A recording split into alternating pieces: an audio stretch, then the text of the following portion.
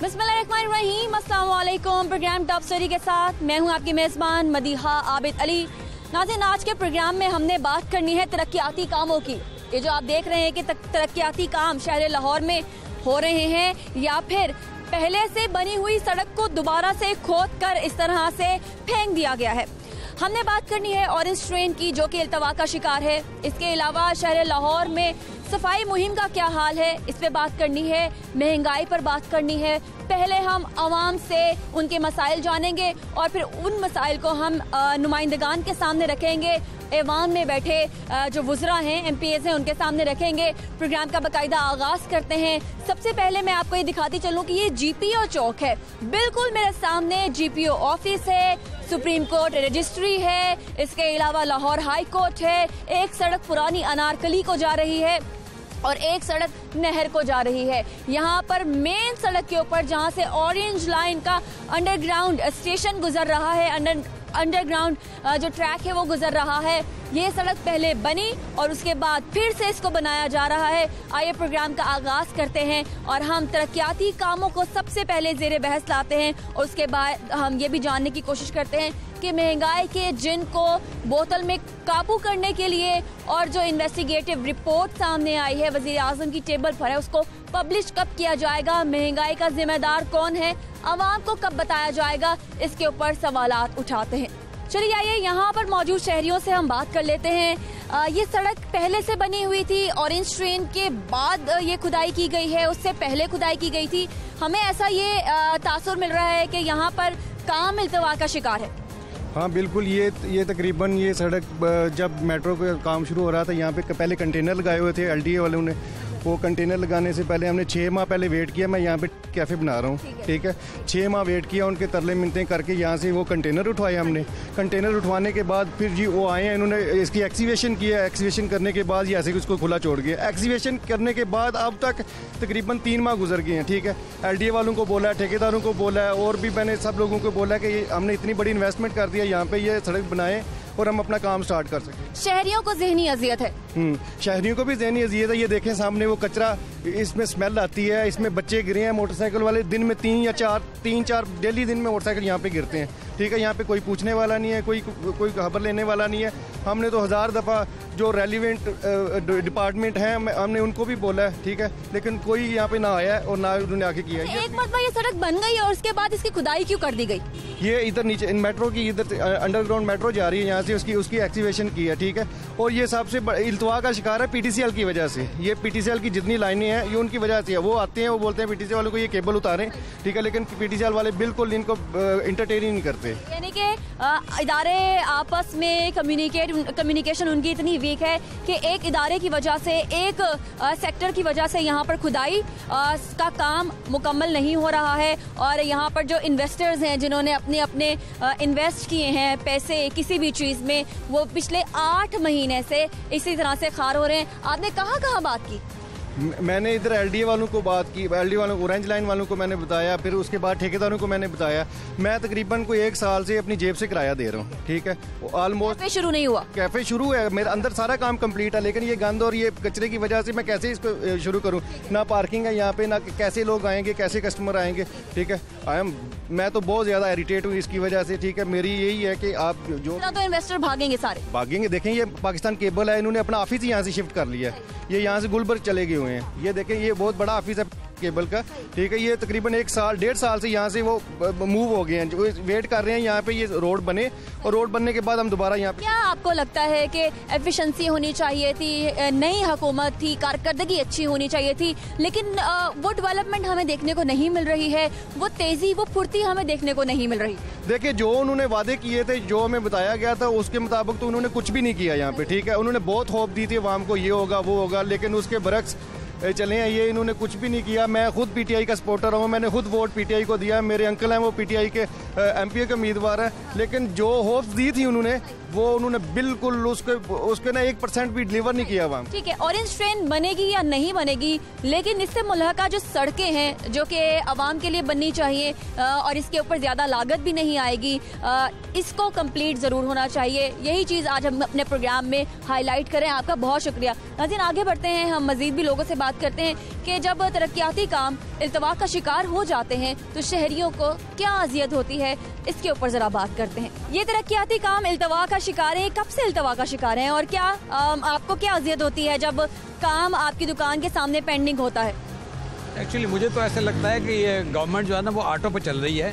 कुछ समझ नहीं आ रही कि क्या कोई लॉ एंड ऑर्डर की सिचुएशन हो, देख लें आप, या कोई गुड गवर्नेंस हो। मुझे अजीब सा ही सिचुएशन लग रही है।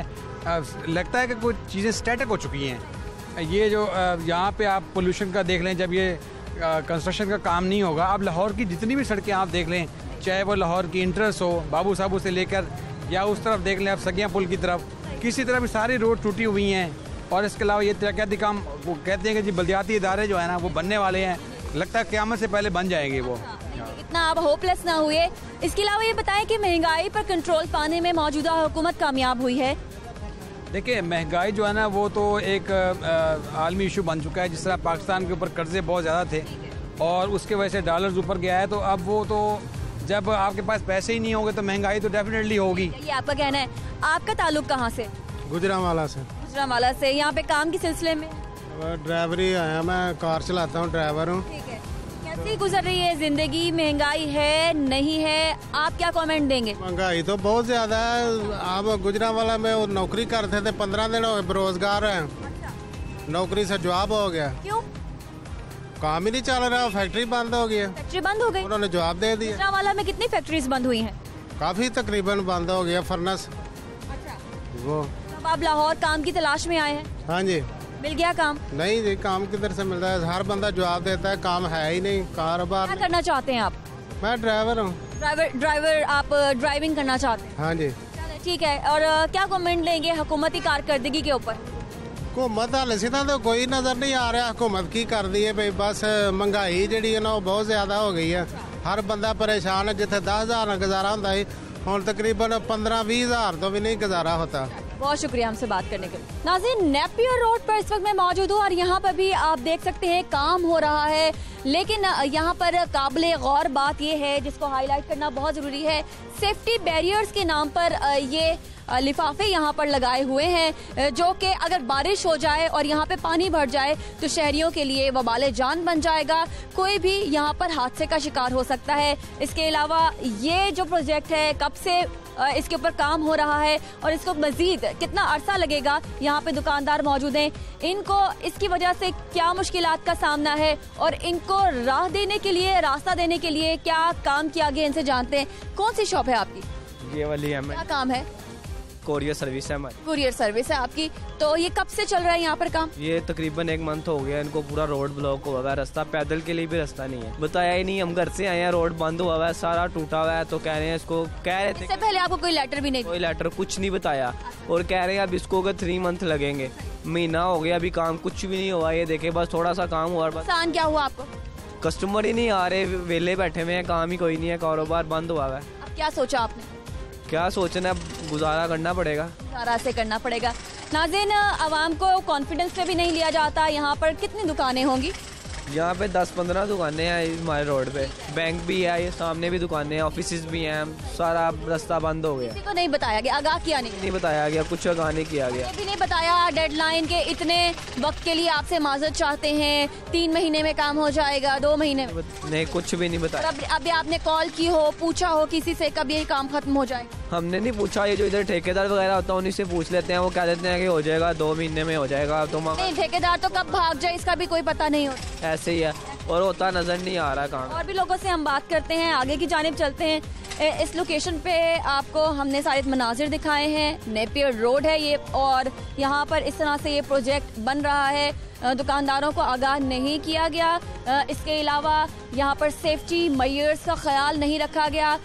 इसके अलावा आप यहाँ पे अगर बारिश वगैरह हो जाए तो यहाँ शहरी हादसे का शिकार हो सकते हैं। ये वो चीज़ें हैं जिनको मद्देनज़र रखना चाहिए और ये काम कब तक ख़त्म हो जाएगा। यहाँ मौजूद बैंक कुरियर सर्विस और होटल हैं, इनको नहीं बताया गया है। आगे की जाने, कुछ लोग हैं हमसे बात करना चाहते हैं ये उनसे बात करते हैं। नाजरीन, ये नेपियर रोड की आवाज़ हम बने हैं। नेपियर रोड जो है, वो अकेला नहीं है। शहर लाहौर में ऐसे बहुत सारे प्रोजेक्ट्स हैं जो कि अल्तवा का शिकार हैं, जिनमें एक मोरिया पुल भी है इसके अलावा मियाँ हॉस्पिटल के बाहर की रोड भी है। मुताद ऐसे रोड्स हैं जो कि हुकूमती कारकर्दगी को देख रहे हैं कि कब इनके ऊपर नज़रसानी की जाए और ये जल्द अज जल्द जो है पाए तकमील तक पहुँचे ताकि आवाम को इस धूल मट्टी से निजात मिले और आवाम को सफ़ाई वाला एक साफ़ सुथरा माहौल जो है वो मिले। प्रोग्राम के दूसरे हिस्से में हम बात कर लेते हैं महँगाई के ऊपर के। अभी तक हुकूमती कारकर्दगी महँगाई के ऊपर क्या रही है?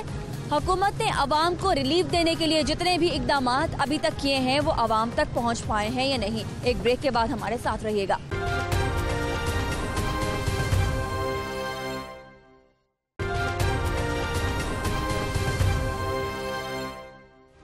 नाजिन ब्रेक के बाद आपको दोबारा से खुशामदीद कहते हैं। शहर में जो जारी तरक्याती काम है अल्तवा का शिकार हैं और किस तरह से तरक्याती काम किए जा रहे हैं, ये आपको हमने कैमरे की आँख से दिखा दिया है। आगे बढ़ते हैं, हम महँगाई पे बात करते हैं।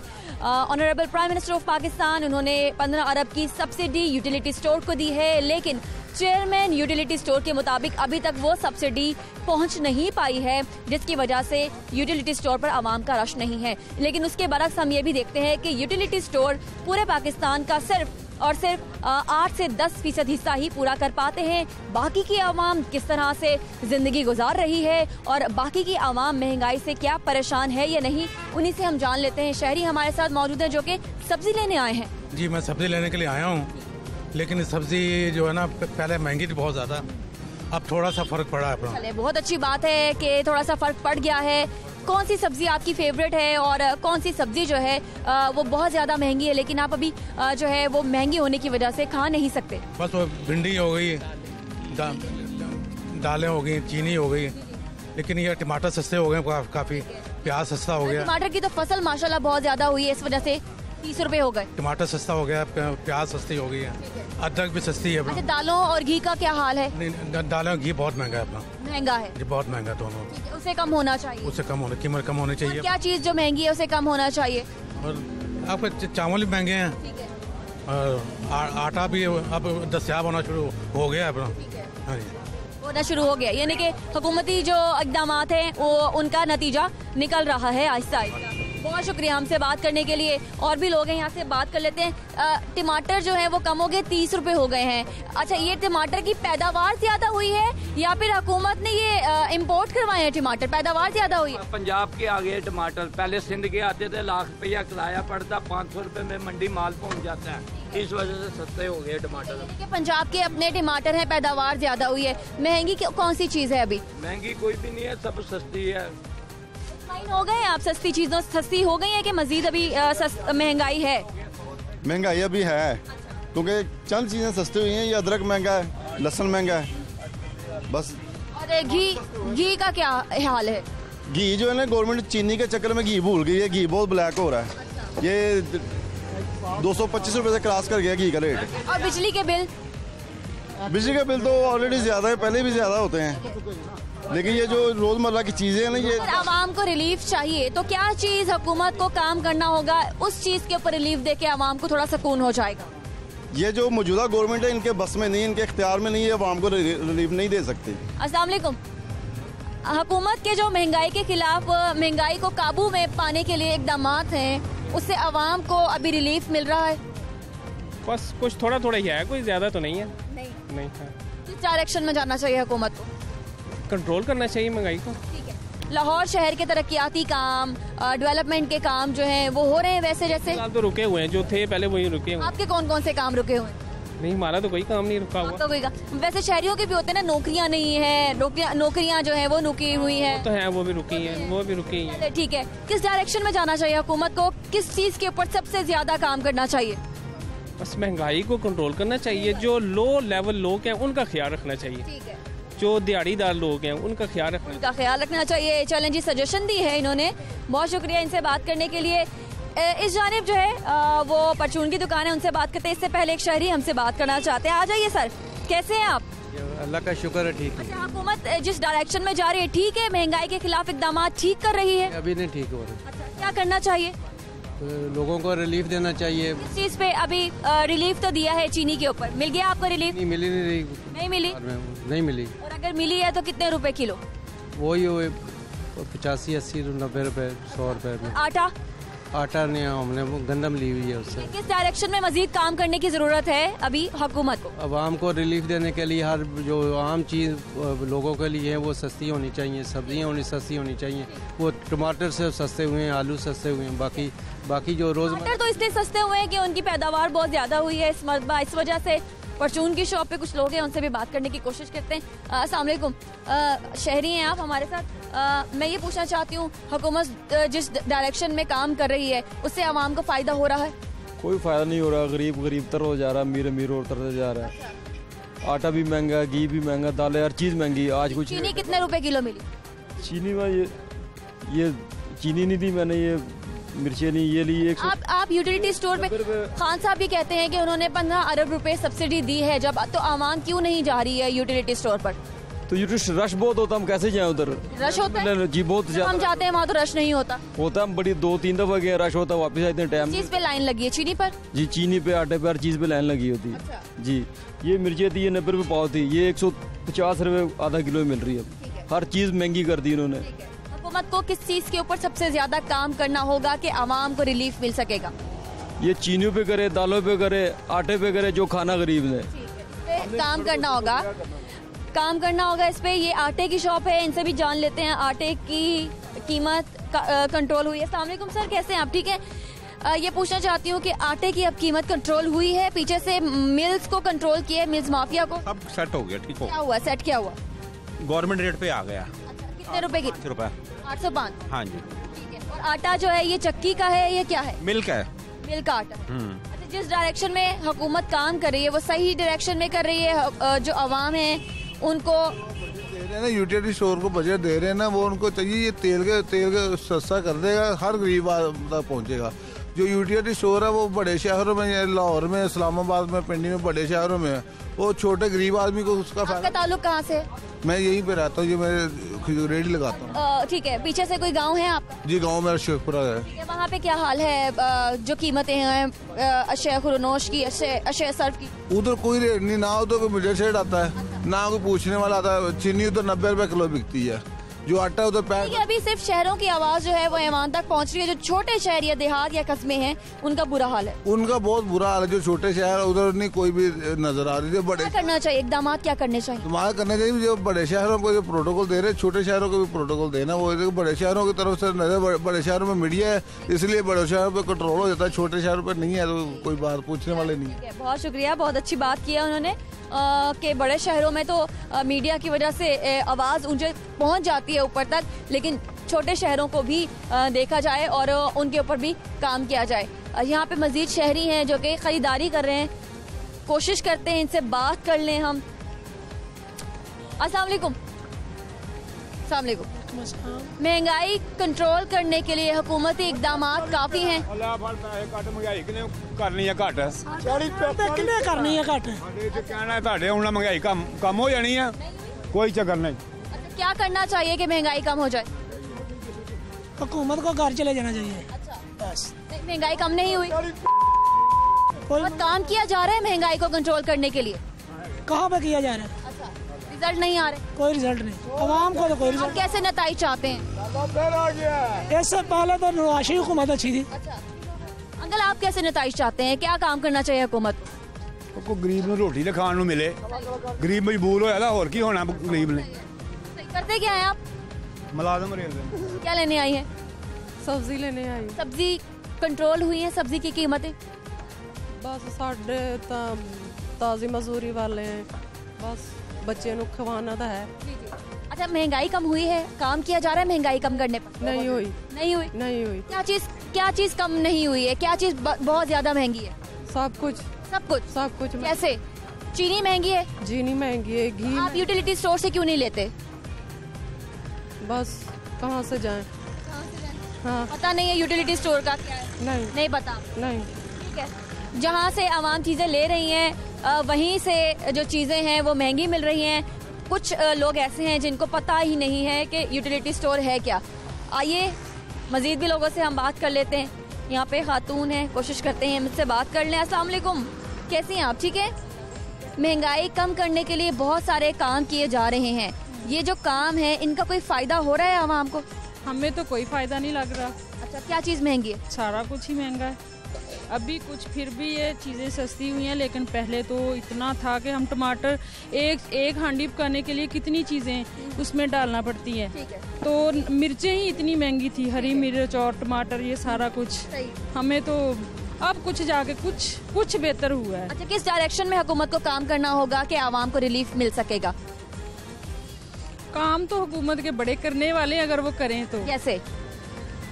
महँगाई कम करें। ठीक है। और और भी बड़ा को हर चीज़ महँगी है कपड़ा जूते। सेहत सेहत का शोबा बीमार होना। बहुत वो वो बहुत ज़्यादा है। बहुत ज़्यादा है। दवाइयाँ बहुत महँगी जा अस्पतालों से मिल रही हैं फ्री मेडिसिन कोई नहीं मिल रही। चलिए बहुत शुक्रिया हमसे बात करने के लिए। नाजीन आवाम से हमने जानने की कोशिश की है क्योंकि हुकूमत जो है वो बहुत ज़्यादा अभी काम कर रही है महँगाई को कंट्रोल करने के लिए। इस इकदाम का फ़ायदा आवाम को पहुँच रहा है या नहीं पहुँच रहा, हमने आवाम से जानने की कोशिश की है और जवाब आपको मिल ही चुके हैं, अब आगे बढ़ते हैं, हम चलते हैं पंजाब असम्बली, जहाँ पर सेशन हो रहा है, आज इजलास हो रहा है, वहाँ पर चल के देखते हैं कि इजलास में क्या आवाम के इस इशू पर बात की जा रही है या नहीं की जा रही। एक ब्रेक के बाद हमारे साथ रहेगा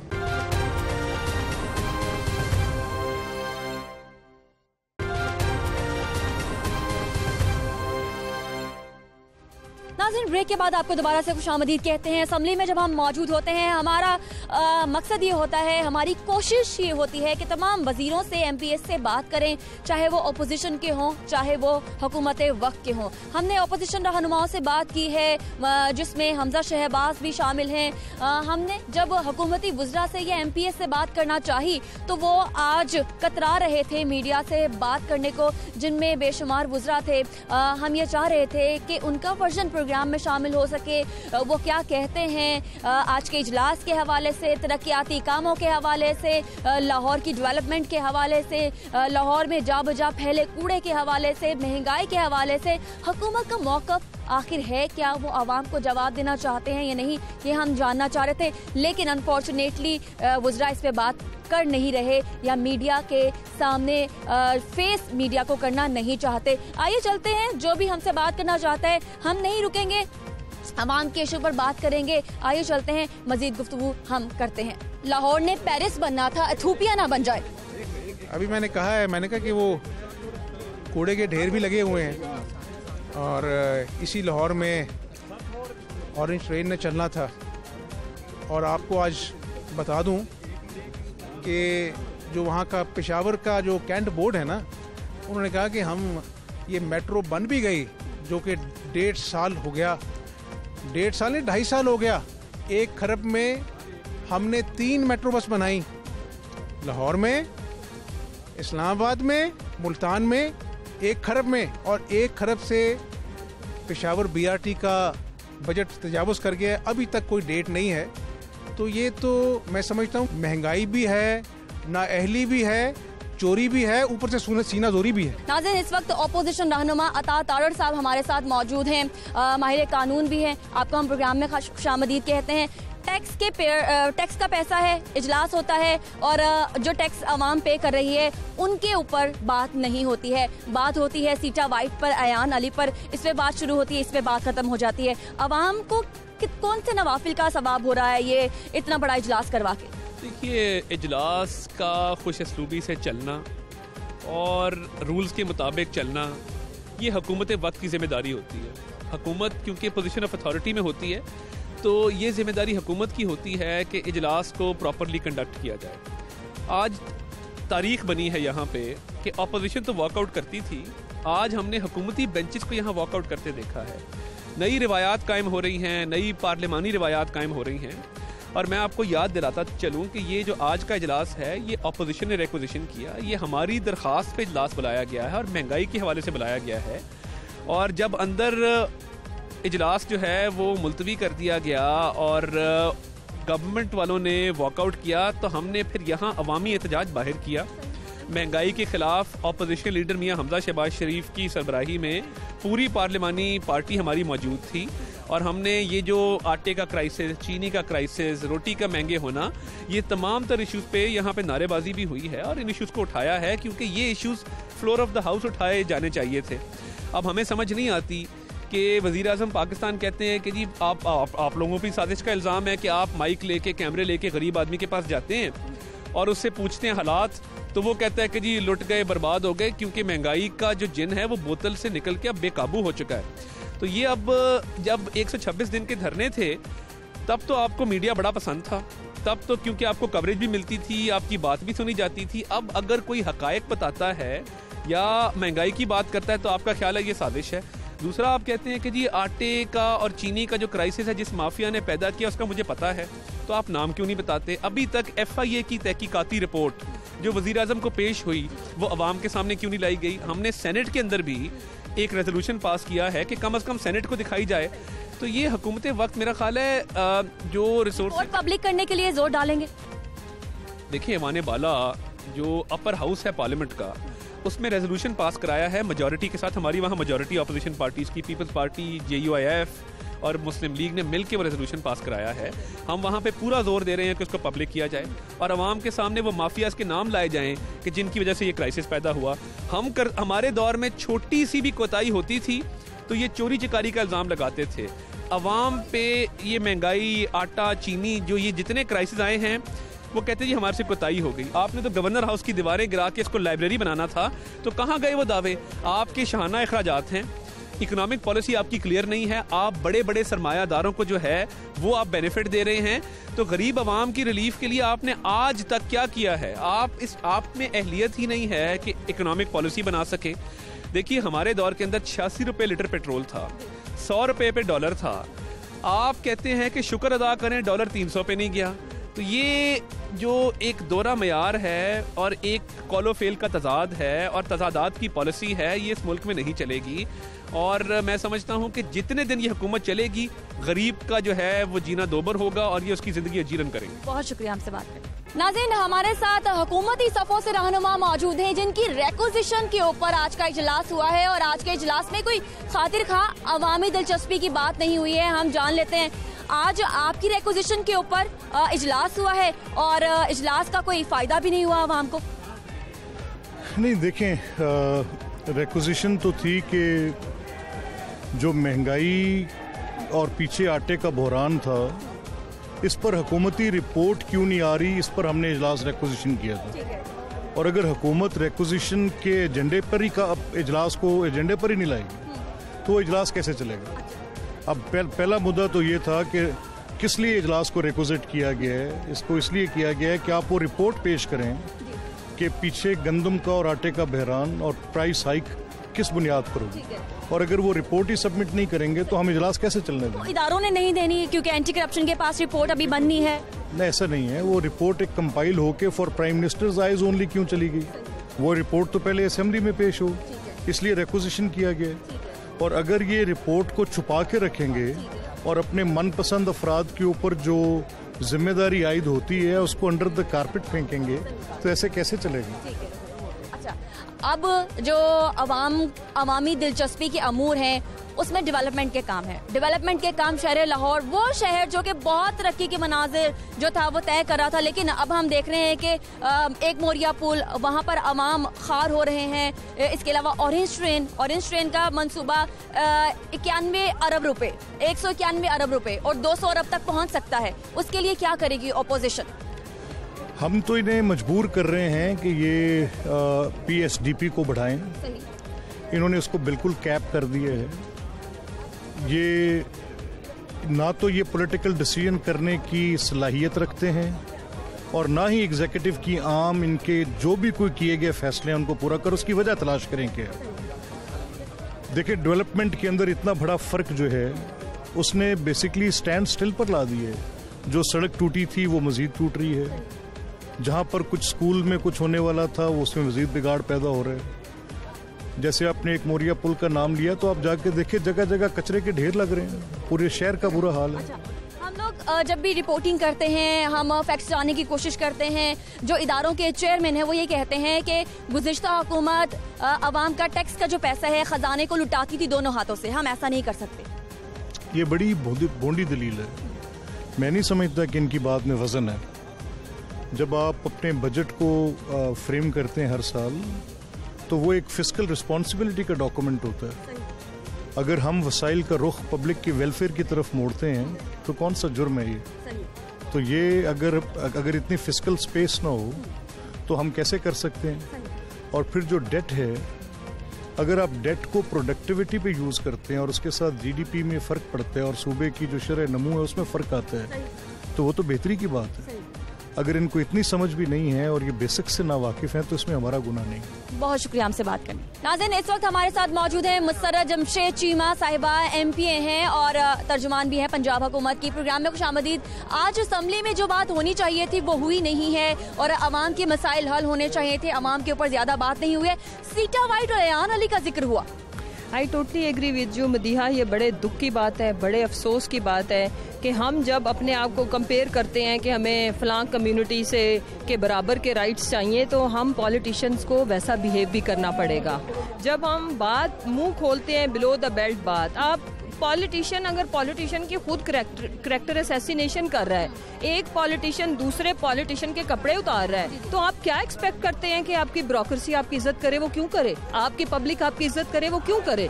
तो एज ए कम्युनिटी ये लम्हा फिक्री है, हम सब लेजिस्लेटर के लिए कि पहले अपनी एक दूसरे की इज़्ज़त करना हम शुरू करें, हम सीखें कि बड़ा सख्त से सख्त मैसेज महजब तरीके से कन्वे किया जा सकता है। आज ये सेशन मेरा मानना है, मैं अभी अपनी कोलीग से बात कर रही थी, मैं बीच में जब ये सारा इन्होंने पर्सनलाइज किया तो मैं उठ गई। वजह ये है कि आज इस आज ये जो सेशन कॉस्ट है ये टैक्स के पैसे से यू नो क्या आपको पता है कि आज की एक दिन की कॉस्ट क्या पड़ी है? तो ये अयान अली और सीटा वाइट का ज़िक्र तो आपकी सफों में से हुआ। देखे मेरी बात सुने। मैं जो कहना चाह रही हूँ इन्होंने जो बात शुरू किया वो भी तो देखे ना इन्होंने हरीम जादे से बात शुरू की। तो मेरा मेरा मैं तो दोनों मैं तो पॉलिटिशियंस की बात करी मैंने किसी जमात का नाम नहीं लिया। ऑपोजिशन ज़िम्मेदारी का रोल प्ले करे कि इश्यूज़ पे बात करे। इशू वर्सेस इशू अपनी खूबसूरती आएगी आपके बात में आपकी बात में वज़न आएगा और लोग आपकी फिर इज़्ज़त करना शुरू कर देंगे और खाम खा कोई किसी की इज़्ज़त नहीं करता। इज़्ज़त करवानी पड़ती है इज़्ज़त कमाई जाती है। असम्बली में तो बात नहीं हुई है। टैक्स का पैसा जो है आज के सेशन पे जाया हो गया और जो इजलास है वो मुलतवी हो गया है। पीर तक मुलतवी हो गया हम अपने प्रोग्राम में बात कर लेते हैं। हम अपने प्रोग्राम में अवाम की दिलचस्पी पे बात करना चाहते हैं। अवाम की दिलचस्पी ये है कि महँगाई कब कम होगी? एंटी करप्शन में वज़ीर आज़म साहब ने रिपोर्ट मांगी है। एंटी करप्शन से इदारों से रिपोर्ट मांगी है। लेकिन तब तक अवाम क्या करे अपना वक्त गुजारने के लिए? मैं सिर्फ़ आखिरी बात करूँगी आपने अभी जब ये जो सेशन की बात की आज हमारी ऑनरेबल ऑपोजिशन ने बात करने का मौका ही नहीं दिया। उन्होंने बात की नहीं है और पर्सनलाइज हुए पर्सनल अटैक किए हैं, हमारे मिनिस्टर्स के ऊपर जाती अटैक किए हैं। ये बहुत गलत बात है। और डिमांड क्या थी कि जी आईजी साहब हमारी इज़्ज़त करें। अगर आईजी साहब आपकी इज़्ज़त करें या कोई भी करे मदीहा करे, मैं करूँ पब्लिक करे, उसके लिए क्या हम, हमारा कोड ऑफ़ कंडक्ट हमारी लैंग्वेज हमारी चीज़ें ठीक है? सबसे पहले हमें मेरा ख्याल है कि अगर हम आवाम के नुमाइंदे हैं तो हमारी बात तो शुरू ही अवाम के इश्यूज़ पे होनी चाहिए ना कि जाती इश्यूज़ पे। बहुत शुक्रिया हमसे बात करने के लिए। थैंक यू नाजिर हमने गुजरा से एम से बात की है। अब हम मजीद इजलास की डिटेल्स जान लेते हैं। हमारे नुमाइंदे यासीन मलिक साहब हमारे साथ मौजूद हैं। यासीन हम प्रोग्राम में आपको खुश आमदीद कहते हैं। आपने कभी ऐसा देखा है कि कभी हुकूमती वज्रा ने ही अपने ही डेप्टी स्पीकर के खिलाफ वॉकआउट कर दिया हो? जी, मैं समझता हूँ, ये एक तारीखी बस एक वाक़ात यहाँ हो रहे हैं आजकल पंजाब असम्बली में। ये भी एक तारीख बन गई है कि पहले ये होता था कि, हो जाता था कि स्पीकर के खिलाफ कोई ना कोई उठ जाता था, बहुत खास अपोजिशन वर्क करते हैं अब हुआ ये है कि यानी जिस पार्टी का अपना डिप्टी स्पीकर है उसी पार्टी ने अपने ही डिप्टी स्पीकर के रवैये के खिलाफ वॉकआउट किया एहतजाज किया। रवैया क्या था? इतना बुरा रवैया था कि अपने ही अ, साथ छोड़ गए? जी मैं वो अर्ज़ करता हूँ कि ऐसा है कि ये कुछ दिनों की पहले की बात है कि जब ये डिप्टी स्पीकर सरदार दोस्त मजारी जो है वो वजी हाउस गए तो वहाँ उनकी गाड़ी को रोका गया सिक्योरिटी वालों ने रोका। उनका ख्याल है कि उनकी ये उनकी और उनकी टीम की तजलील की गई। तो इस वजह से उन्होंने पिछले इजलास में स्पीकर परवेज अली ने एक एक खसूसी कमेटी तश्कील दी थी कि इसकी तहकीकात कराई जाए। आज उसकी रिपोर्ट मांगी गई। तो राजा बशारत वज़ीर कानून ने कहा कि मुझे चूँकि तहरीरी तौर पर ये नोटिफिकेशन हुआ ही नहीं इस कमेटी के लिए तो मैं तहरीरी तौर पर कैसे आगाह करूँ? तो ये बात बढ़ते बढ़ते इस हद तक बढ़ गई। यानी स्टार्ट में असल मुर्तजा ने जो पॉइंट अपने लिए नारवा सलूक की रिपोर्ट मांगी जा रही है जो आवाम के लिए नारवा सलूक हो रहा है तरक्याती काम रुक गए हैं ऑरेंज ट्रेन नहीं बन रही शहर में जा बजा कूड़ा है और इसके अलावा ट्रैफ़िक के बड़े मसाइल है महँगाई ज़्यादा हो गई है। करोड़ों रुपए की लागत से एक सेशन होता है और वो भी इल्तवा का शिकार हो गया। मैं ये अर्ज़ कर दूँ कि इस ये यही तो है इस जलास में बहुत जो बाकी जो तारीख बने ये भी तारीख हुई कि जलास शुरू से वहाँ मछली मछली मंडी बना रहा। लेकिन हुआ ये कि ये झंडे पे तो आई नहीं। झंडे में आने से पहले ही ये जलास मुलतवी हो गया।